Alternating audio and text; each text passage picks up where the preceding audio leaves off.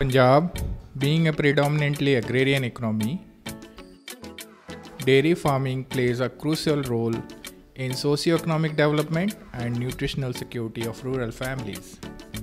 At present, around 6,000 commercial dairy farms are present in Punjab in which the high-yielding animals are reared.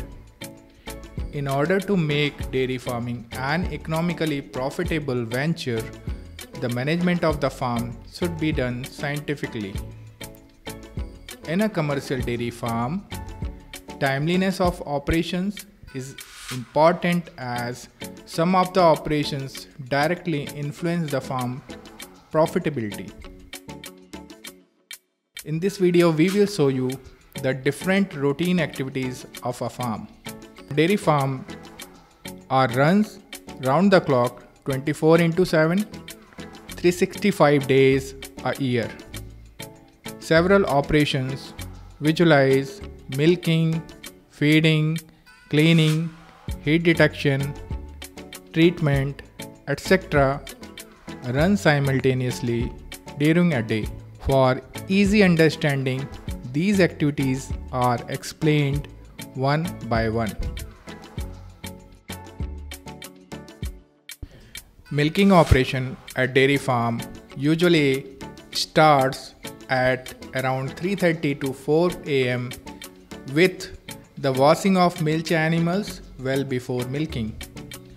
Timeliness and duration between two milkings are important concern as it directly affects the milk production of the animals.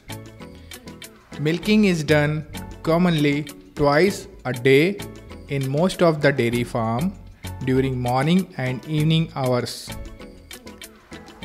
Though high yielding animals can milk thrice a day.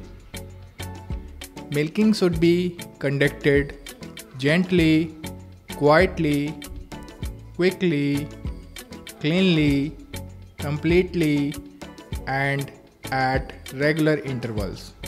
In a dairy farm, milking is performed either manually using hands or using machine. High yielding animals are milked using machine whereas low yielding animals are milked manually. Prior to milking, the animal's udder is wiped off with a paper napkin and the first few strips of milk are taken in CMT paddle for testing of any abnormality in milk due to mastitis.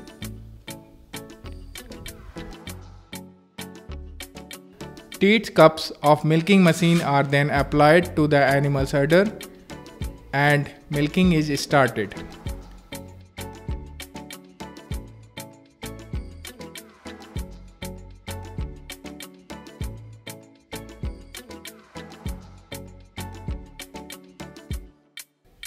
After milking, the teats are well dipped in a teat dip solution to avoid any infection in the udder.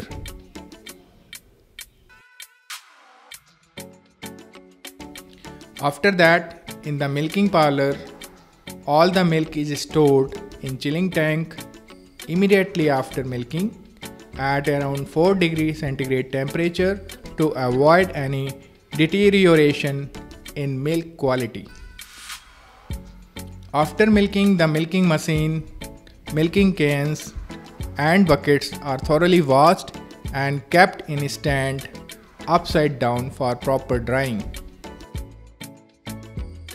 In a large dairy farm, all the milk is transported to a processing unit for pasteurization, packaging, and further processing to other milk products, whereas in a small dairy farm, milk is directly sold in loose form to either consumer or middleman or cooperative society.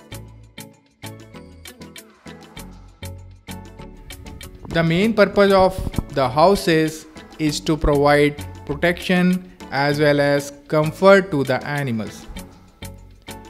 Moreover, it also facilitates the conduct of various activities such as cleaning, washing, feeding, etc.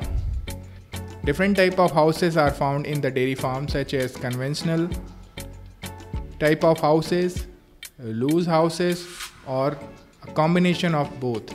Out of these, loose houses are best suited for our climatic conditions. The animals are housed in different sets based on their age, their sex, and their status. Feeding is an important activity at the dairy farm as it accounts for around 70% of total cost of milk production. Providing balanced nutrition is the foundation for productive and profitable livestock farming. Without adequate nutrition, animals cannot express their full genetic potential nor will they be productively efficient. The feed is given to the animals usually comprises concentrate feed, green fodder and dry fodder. Dairy animals are generally allowed free access to roughages, but a measured amount of concentrate feed is given to them based on their body weight for maintenance, milk production, pregnancy, and growth.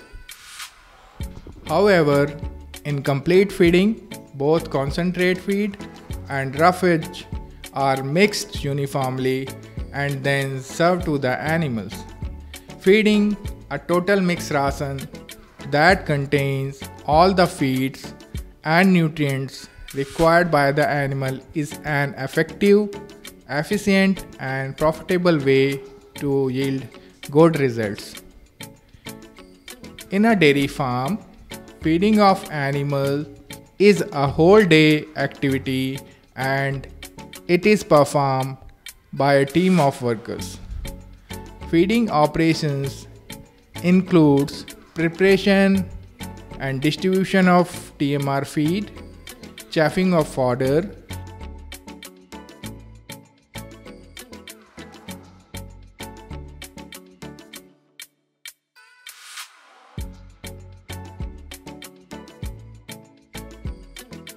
distribution of feed and fodder to the animals of various sets.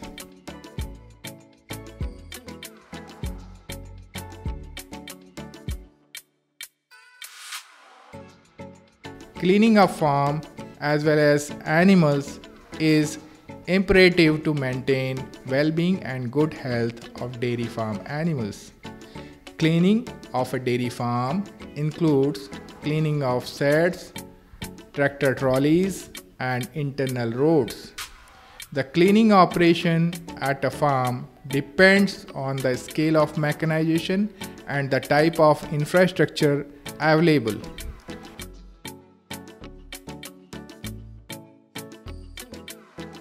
In modern sets, cleaning takes place using an automated dung scraper, whereas in conventional sets, with less workable area, cleaning is done using shovel manually.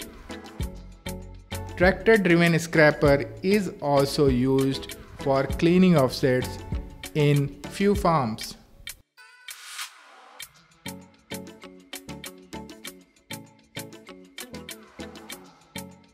This section of dairy farm is of utmost importance as future of the dairy farm lies here. The newborn young stock requires special care for a few days as they are not able to maintain their body temperature. The main activities of calf section includes proper cleaning and drying of newborn calves immediately after birth using a dry towel or a jute bag Weighing of a newborn after birth is an important activity to fix the amount of colostrum and milk for scientific feeding of weaned calf. Young growing calves up to 4 months of age are commonly weighed at fortnightly intervals followed by the monthly interval. Weighing is an important activity followed in a dairy farm to assess the growth and health of the calves.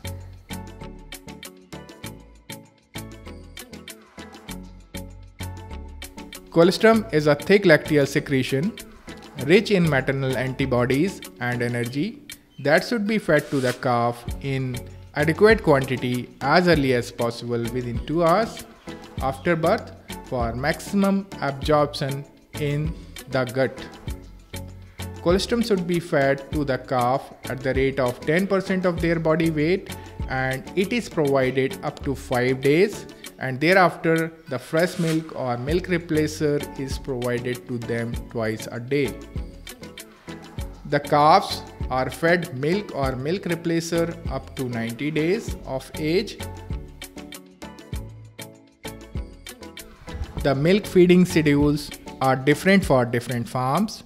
However, as a thumb rule, milk is fed to the calves at the rate of one tenth of the body weight in first month followed by 1 15th of the body weight in second month and 1 20th of the body weight in third month. So disinfection of navel cord is carried out by applying antiseptic solution after cutting and tying of navel cord 1 to 1.5 inches below the navel. Weaning is generally done in a commercial farm on day 1 or 0 day. So after the birth of calf, the newborn calf immediately separated from the mother. In our indigenous animals like Sahiwal, Gir, Tharparkar, weaning immediately after birth is not possible because of strong maternal instinct Whereas in crossbred cattle, zero day weaning or weaning immediately after birth is not an issue. So, marking of animals soon after birth for easy identification is an important managemental practice in a dairy farm. Although several methods of identification are followed in dairy animals, Tattooing and tagging are the most common methods. In cattle and buffaloes, ear tagging is done mostly using self-piercing plastic tags. Nowadays, in a few commercial dairy farms, for identification and monitoring of animals' activity such as rumination, feeding, walking, etc., sensor technologies are also used.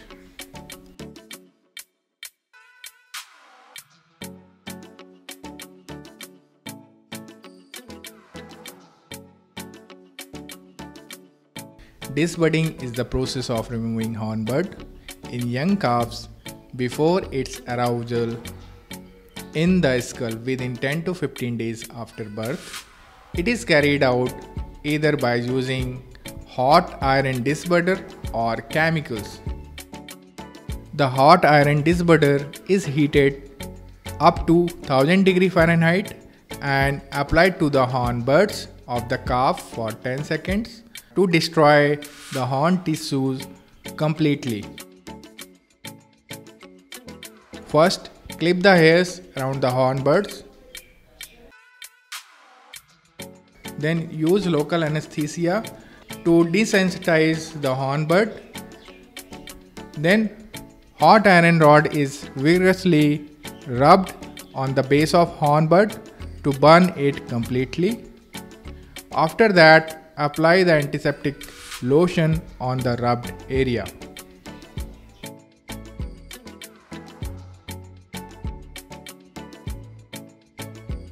Calf starter is a protein and energy rich concentrate feed fed to the calves starting from 10 days of age along with soft and succulent green fodder.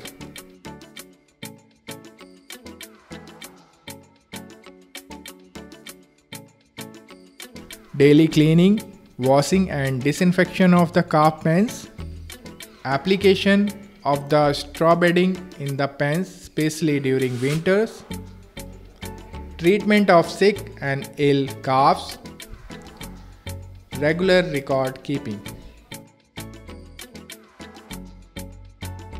In commercial dairy farming for breeding of animals, artificial insemination is preferred over natural breeding to avoid inbreeding and introduction of a new gene pool.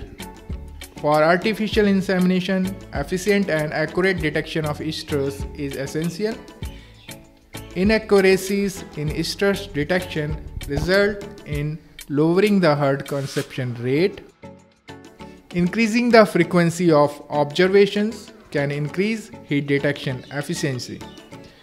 Behavioral symptoms, teaser bull parading, per rectal examination, use of pedometer, use of heat mount detector, record keeping, personal visualization, and progesterone analysis of blood or milk are the various methods of estrus detection.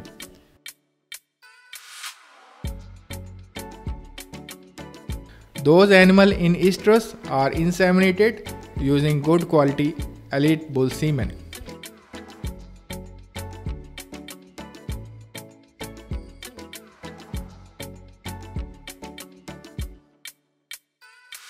Pregnancy diagnosis is performed using per rectal examination at around 65 days or ultrasonography after 45 days of insemination.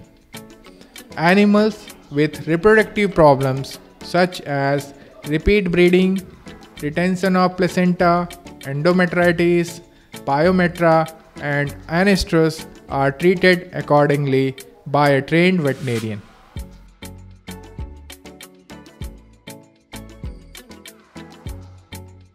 The activities of health section include identification and treatment of ill animals, deworming and vaccination, disease testing of animals against brucellosis, tuberculosis, and Johne's disease.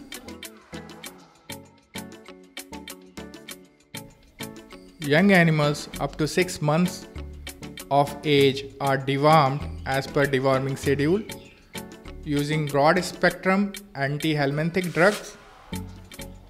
Adult stock is dewormed twice a year, once before monsoon season in May and June month and during monsoon in August and September month.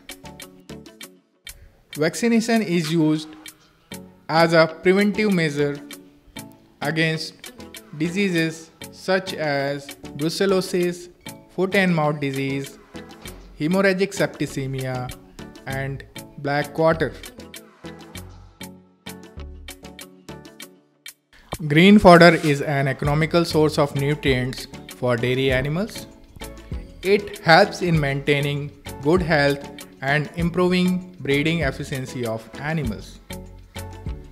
For economic viability of dairy farms, cultivation of fodder is always cheaper than the purchasing of fodder from the local market.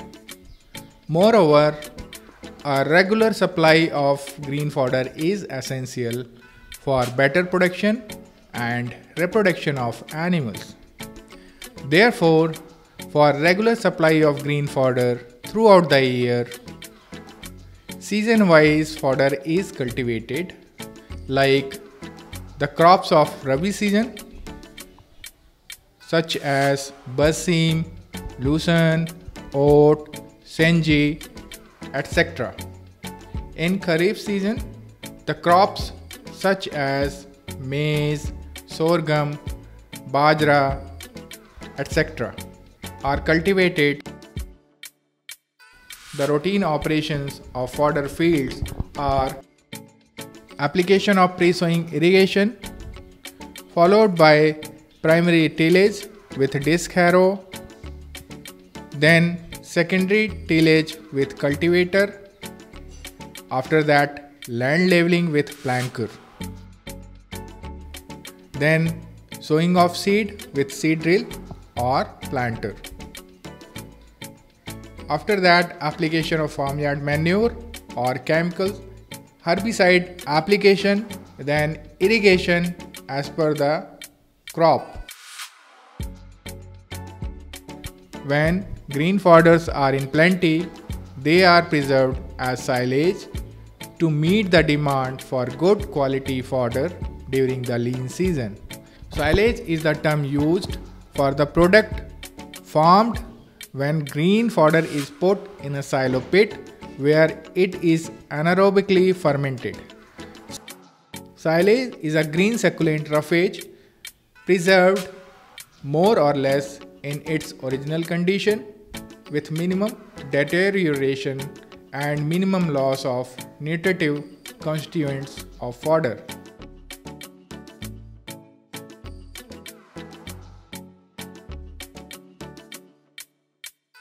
Harvesting of maize crop at optimum stage.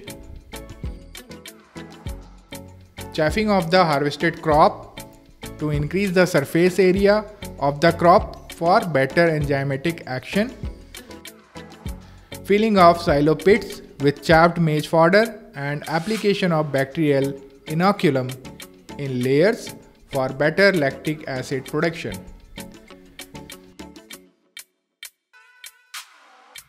Pressing of chaffed fodder for removing air to create an anaerobic condition. After that, covering of silo pit with paddy straw and a plastic sheet to prevent aeration and entry of water into the silo pit.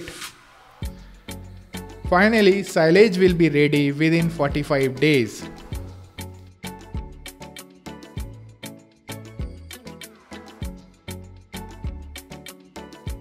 Record keeping is essential to monitor the progress of a dairy farm business. It is also important for scientific management of animals. In a commercial dairy farm, various records are maintained and these are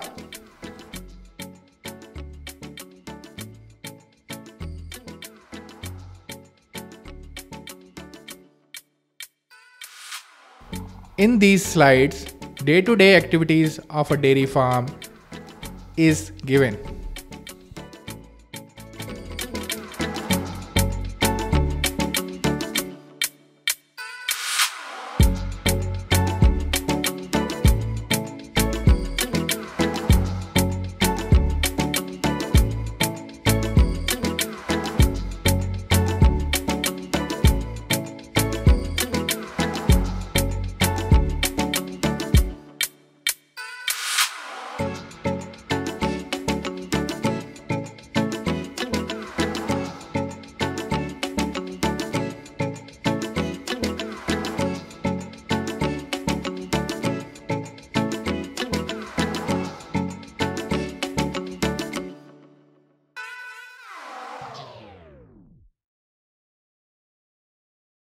To watch more educational videos on veterinary and animal sciences, subscribe the channel and please touch the bell icon.